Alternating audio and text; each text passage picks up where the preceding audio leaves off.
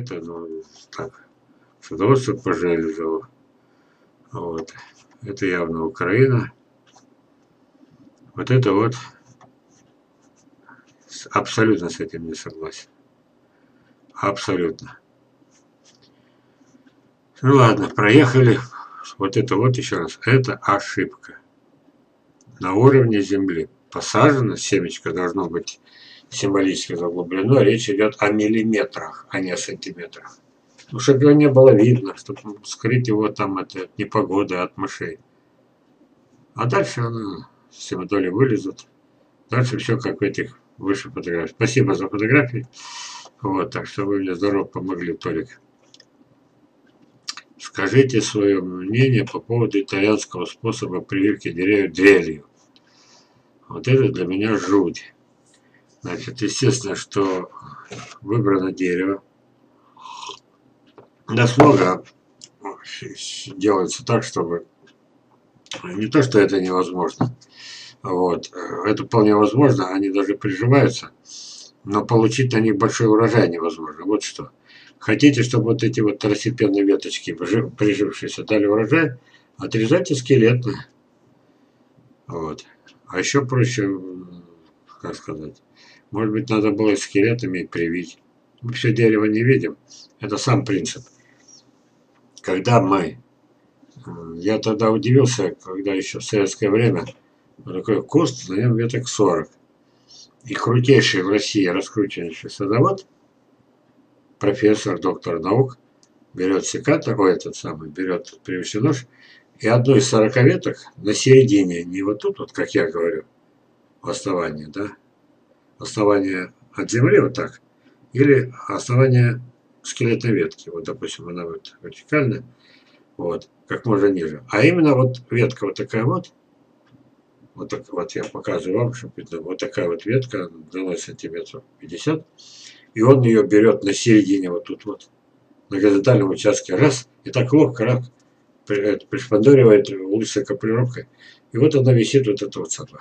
Я смотрел, смотрел, думал, это что, остальные 39 веток отрезать придется? Ну, это нелогично. Даст два яблока, потом сломается. Она даже не вертикальная, она не несущая. Вот. Но если ты это показал сам принцип, как делается прививка, ну так делай, в принципе, и делай. Вот так вот нас учили. А здесь что получается? Дверь засверлили, вставили, можно. Только я бы не стал делать. У меня сама идея, как помните, ускорим плодоношение, гвоздей забьем. Вот это дурь. Вот. И это э, самое, успеха добиться можно. Например, испытать, взять старое дерево, навтыкать 10, 20, 30 половиной пойдет – на одной повесить 2-3 яблочка или там грушки, и вы испытали много сортов. Но сам вариант вот этот сверления для меня настолько дик, что я бы предпочитал обычные методы. Вот смотрите, старое дерево, я выбрал свое. Когда-то я, видите, первый урожай, вот три яблочка, и вот еще два яблочка. Это две прививки. Все, пять яблочек. А вот старая ветка. Я постепенно начал убирать ее, видите а тут ветку отрезал, там ветку отрезал. Вот. Но результаты я уже не добился, понимаете, оказывается, на старом дереве уже э, когда-то даже говорил, давайте так, ну хорошо, если бы я его полностью отпилил вот так, еще что-то бы несколько лет бы поплодоносило. Вот. Но если уж пожалели старое дерево, оно тоже дает прекрасные плоды, то от этого толку не будет. Один пример – Второй пример. Центральный проводник внедрил, получил две груши. Все. Все. Потом я пожалел вот эти ветки. Пожалел. А эти уже чужеродные, они не стали развиваться. Еще год они погибли. Второй пример. И третий пример, мой любимый. Груша на яблоне. Испытать надо? Надо. Привел плодовую ветку. Вот это плодовая ветка. Их ненавидят вот эти феи. Ненавидят и отрезать все подряд, оставляя голый ствол сраным. Их так научили. Вот. Теперь. Это я вам показываю самый старый мой королевский абрикос. Посмотрите, что творится, да? Вот он живой. Он дал вот эту побег, здесь все заросло. По идее, если бы я его лечил в свое время, то есть рано бы эти были залечил, он бы давно был бы мертв. Самое главное, но это абрикосов 100% касается, не подходить к ним, не, не лечить ничем. Они так хорошо обрастают потом. И, конечно, распилишь, что ты видишь в середине страшную рану. Но дерево живое, плодоносит, еще будет плодоносить. Я специально выбрал свое старое, ему больше, ему уже давно за 30. Оно и все равно живое. Даже вот я всегда сужу по этим веткам. Если посмотреть потом вверх, туда выше, приросты метровые, значит дерево будет жить. А когда-то я взял яблоньку, видите, а тут близко, это только кажется далеко, где-то метра полтора. Я ее, она даже заплодоносила уже, да. Смену готовил. После косточковой культуры надо семечковую садить. После семечковой, коль место освобождает семечковую, надо косточковую садить. Нормально развивается, смотрите. Приросты вот это один год, второй год, третий. Ну, кроме одного, они Абрикос отказался вместо уступать. Вот так. Вот. Так. Час прошел. Я пойду чай подогрею. Потом еще поговорим. Когда вот этот товарищ, да, который, э, он, наверное, сорта получил. Наверное, в виде саженцев, как иначе. Может быть, косточки, может, черенки. Непонятно ну, допустим, саженцы, или он, даже если косточки, даже если сам привел, но когда-то получили деревья, он начал с ними обращаться. Вот. Обрезка – важнейший прием. Поддерживает дерево в состоянии постоянного роста. Конечно, его калечишь, оно выбрасывает ветки, да, его калечишь, оно выбрасывает, и калечишь, выбрасывает. Позволяет растению самостоятельно противостоять различным заболеваниям. Вот это огромная, страшная, невероятная ошибка. Я не могу вот этих специалистов, которые, ну как бы сказать-то, они же выпускники, у них дипломы, у них звания, вот, у них возможности печататься есть. Видите, Сады России? А меня тогда это одну статью напечатали, а потом запрет полный. Почему? Ну, сказали, вы что, железо печатать, совсем с ума сошли. Железо печатать перестали о том, что дерево не надо, это все, это подлое, нет, не то слово, страшная ошибка, страшная, что обрезка позволяет, смотрите, растению противостоять различным заболеваниям. Обрезка – это страшное для дерева испытание, страшнючее, дико страшно. И вот э, это пока на ней остановились. И вот, вот этот товарищ, да, если он следовал этому же, что он мог получить? Дерево искалечил, а потом говорит, неподходящий для абрикоса. Это мое предположение. Так. Обрезку ежегодно в марте. Согласен. Согласен. Если уж необходимость. При необходимости допустимо поздней осенью. Понимаете, после листопада, зимой во время оттепления.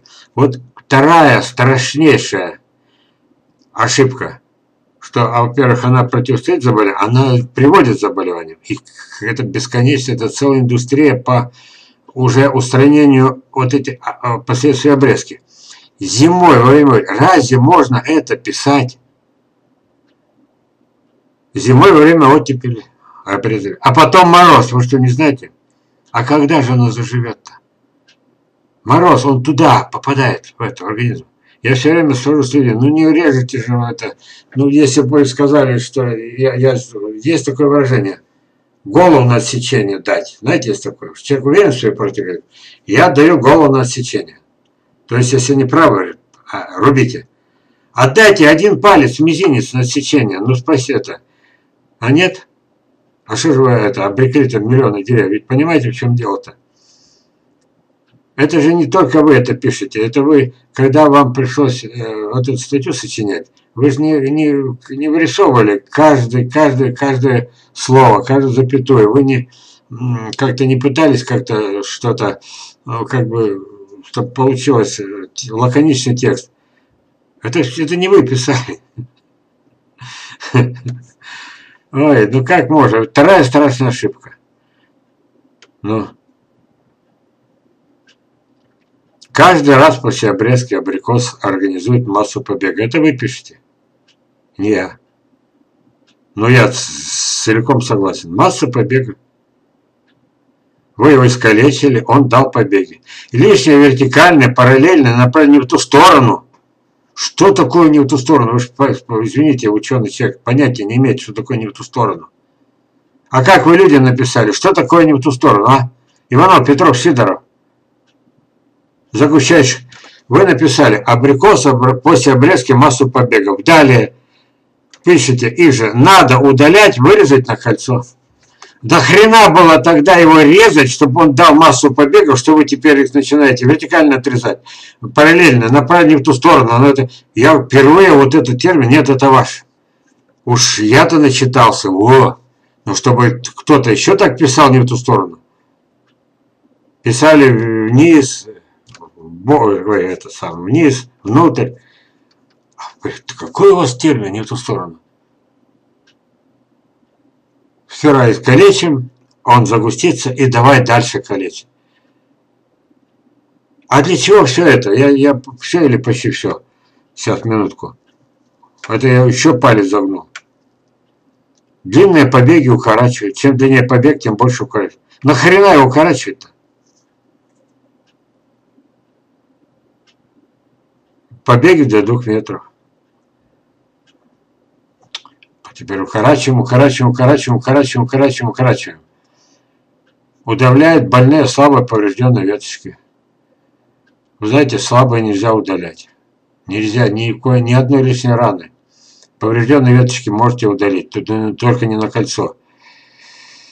Ой. Что-то первый раз что-то умное прочитал. Срезы даже мелкие – но которые находятся на стволе на стакетке, необходимо замазывать. Вот что-то умное, ну надо же. Так, побелка, еще одна, молчу, проходили.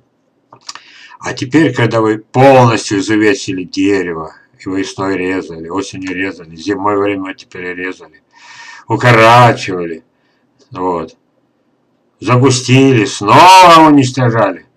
Теперь пришла пора бороться с вредителями. А? Вот они. А вы знаете, что на моих этих нет вредителей, на моих абрикосах? И в сырое лето нет, и в сухое лето нет. Горько какое. Смотрите. Еще важно осенью после листопада сгребать, сжигать опавшие листья, в которые благополучно зимует инфекция.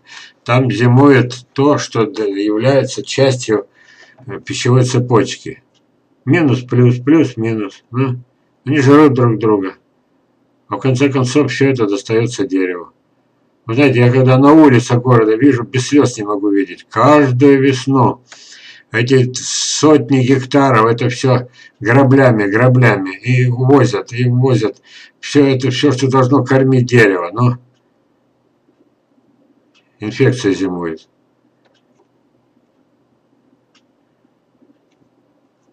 И, наконец, землю под деревьями следует содержать в рыхлом, чистом и целиком состоянии. Ну, так, что такое содержать в рыхлом?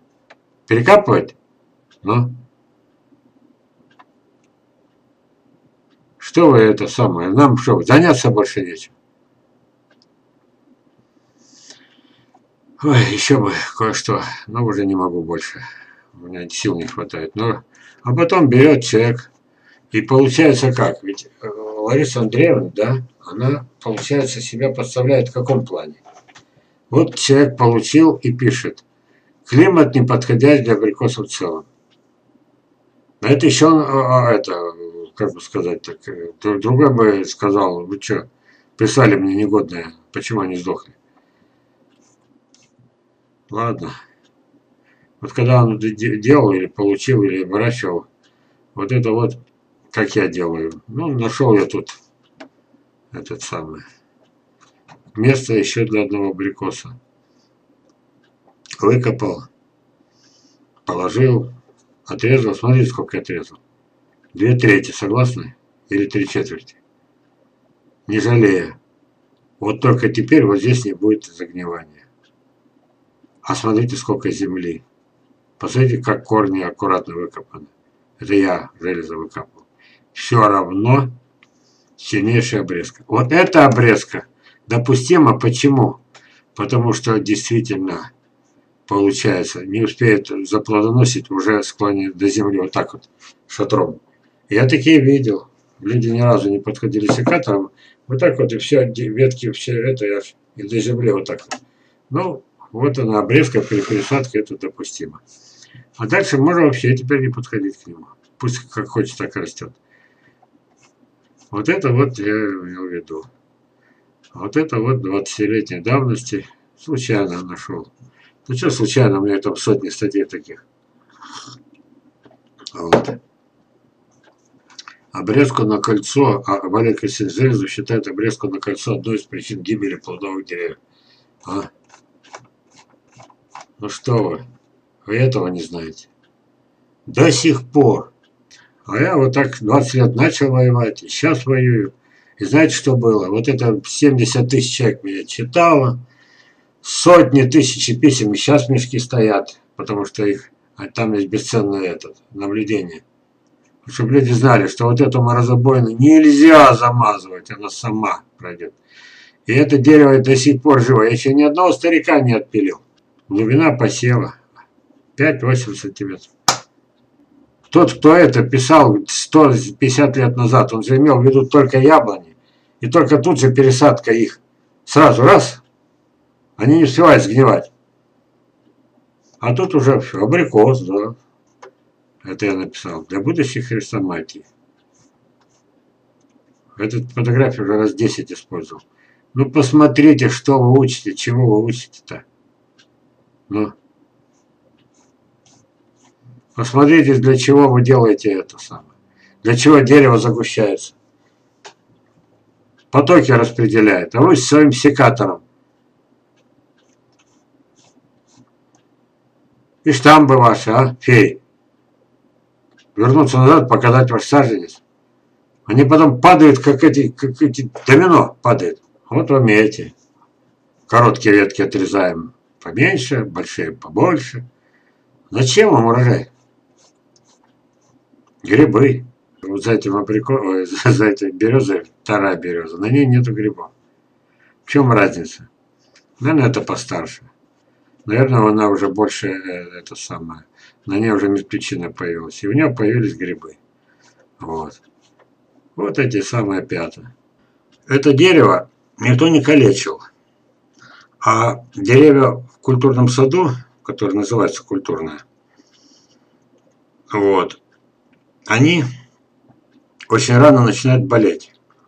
Причину я вам уже называл выше, да? А здесь просто шел по лесу, сделал фотографию. Увидел грибы. Здесь в этих местах мертвечина появилась, то есть мертвые клетки. Вот. И в любом месте, где это удобно, скорее всего, вот с этой стороны теплее, может быть, еще по каким-то причинам, может быть, безветренное место, грибы начали свою работу. Они абсолютно безобидны. Они, еще раз повторяю, у меня просто, ну, раз нет грибов на деревьях, я вынужден уже в лес идти, фотографию делать учебную. Они совершенно, вот представим себе, что вы взяли ножом срезали грибы. Вот. Я утверждаю, я просто фотографию, ну, как бы более, как сказать, наглядную. Я возьму нож и вот так вот отрежу вот этот гриб. Ни это дерево лучше не станет. Может быть, даже станет хуже. Потому что это все единая целая система. Это я еще не проверял. Для этого нужно взять деревья. 50 штук. Допустим, с грибами. Примерно одинакового вида. На 50 других поотрезать. И смотреть, что будет дальше. Дерево будет развиваться хуже или лучше. Но это многолетнее наблюдение. Ну уже точно, что если вы отрежете в одном случае, щеткой выделите, помните, я показывал, чем там только их не сдирали эти все. Не трожьте деревья вместе с грибами. Чтобы их не было, не подпускайте сами, не подкупайте специалистов, которые еще и за деньги изувечат ваши деревья. А это знаете что? Ну, это уже как бы лирика, это как бы, как это сказать-то, не было цифрового фотоаппарата, в природе не существовало, да? А были просто фотоаппараты. Были гениальные фотохудожники. Они могли нечто подобное Но не было еще множественной техники. А сейчас каждый может полюбоваться на это. А вот когда вот на это любуюсь, да, вот на это, вот на это, вот на это, да, даже на эту инфузорию любуюсь. Но, Господи, как сложен мир. Как был неправ Дарвин, как это казалось удобным увидеть, что это отвалился хвост у обезьяны и получился человек. И как за 40, ну пусть даже за 100 тысяч лет мозг увеличился в два раза. Как? Для этого даже миллиардов не хватит, там нужно триллионы. Это какие связи нейронные? Боже мой, ну почему в 21 веке эту дурь